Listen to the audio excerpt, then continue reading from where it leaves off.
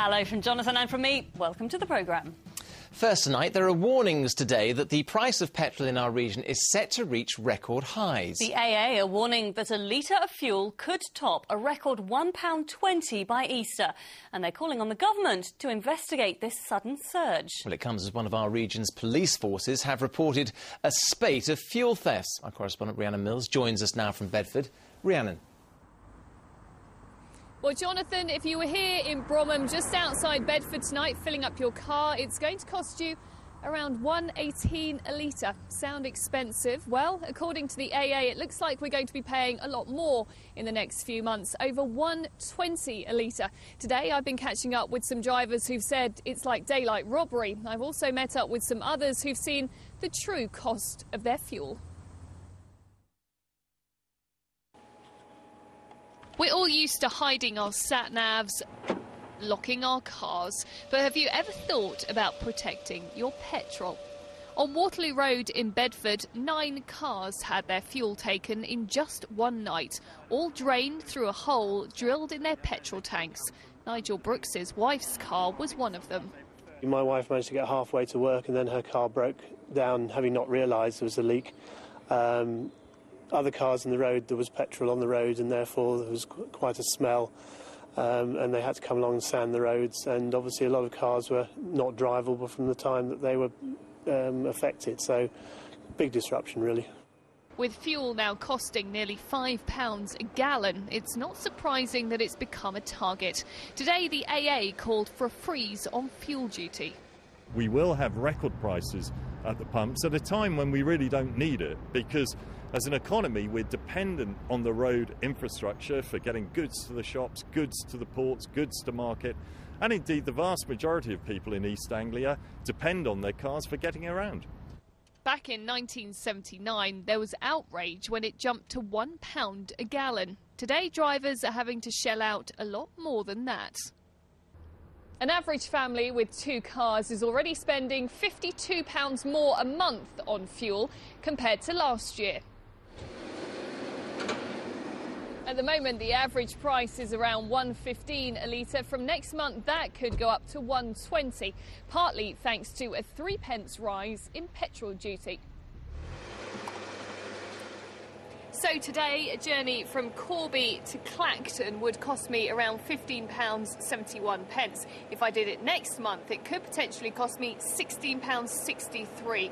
That's nearly an extra pound for that 100 miles. Drivers that I spoke to today were already noticing a big rise. It's absolutely terrible. In the past few weeks, it's gone up by two pence in the two weeks. I used to put £10 for the petrol and get about sort of 90 miles. I get about 44 miles now, so it really has made quite a difference. I think the government could do something about it. I think it's too much taxes. We pay more taxes than anybody other other countries.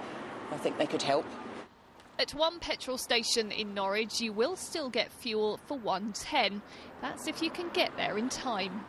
I got some customers regularly come from Sheringham and all over Norfolk and because they know we are the one of the cheapest place in the central of the city.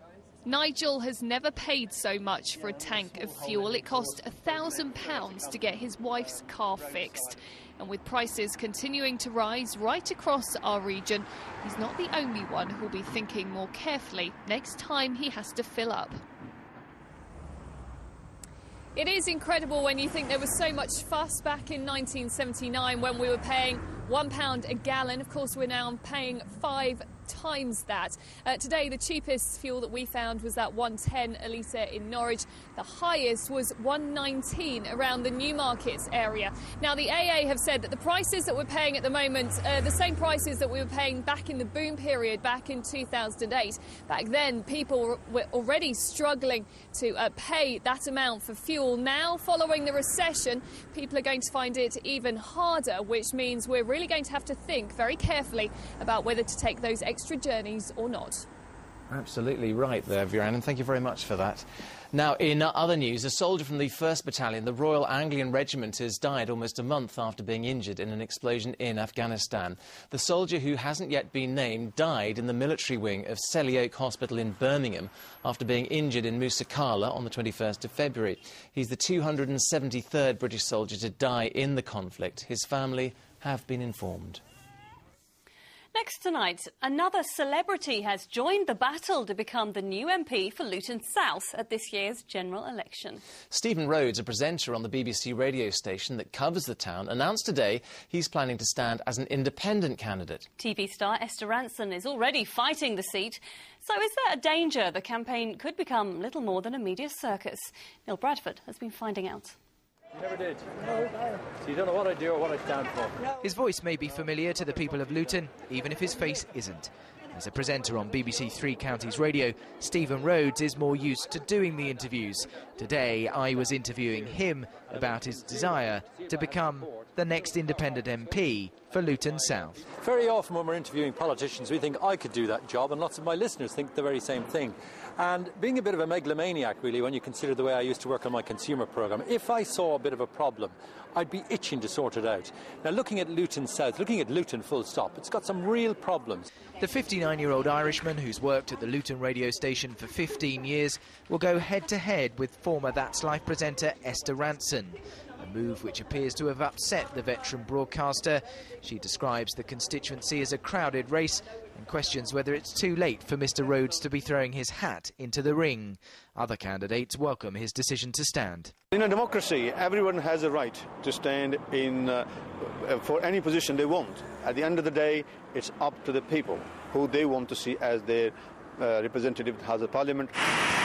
It's a fascinating campaign. It's no surprise to me that so many people are queuing up to stand in Luton South. It's a fantastic place, and I should know I've lived here almost all my life. While the rest of the country is having a good debate on the political issues of the day, that in, in Luton instead it'll be Esther Rantzen, it'll be Margaret Moran, it'll be Stephen Rhodes, and it'll be all sorts of issues that are interesting and good media coverage, but they're not going to impact people's day to day lives. There was little comment from the BBC today. They simply confirm Mr Rhodes no longer works for the corporation. The presenter's resignation was accepted with immediate effect. It means he won't present tomorrow's breakfast show. But a source hinted that there may be a chance he could return to the airwaves if his attempt to become Luton South MP is unsuccessful. Her books top the bestseller list. Stephen Rhodes has previously stood in for Richard Madeley on ITV1's This Morning programme and has been the voice on many ITV quiz show. That was more than 15 years ago, and judging by the response from people we spoke to today, his profile in Luton could do with a boost. Never heard of him. Who is he anyway? Oh, I know Three Counties Radio, but not Stephen Rhodes. Oh, yes, um, Three Counties. Yeah. Stephen Rhodes presented his last breakfast show this morning. The next time he appears on the radio, he says it will be as a candidate in what could be one of the most exciting places of the election. Neil Bradford, Anglia News, Luton South. Now, all